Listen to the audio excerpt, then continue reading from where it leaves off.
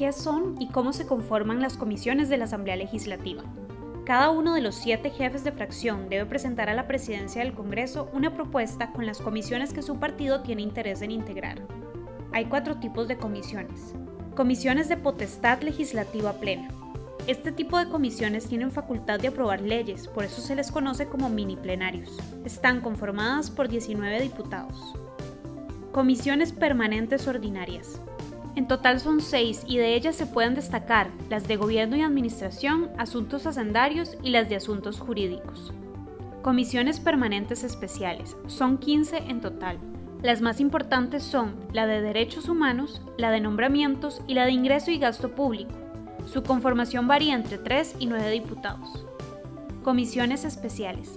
Son nombradas por el Congreso para estudiar asuntos específicos. Pueden tener 3, 5, 7 o 9 diputados, según lo determine el plenario.